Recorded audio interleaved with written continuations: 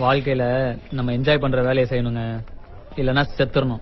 நம்பி வாங்க சந்தோஷம். நான் சொல்லல அவன் பெரிய டுபாக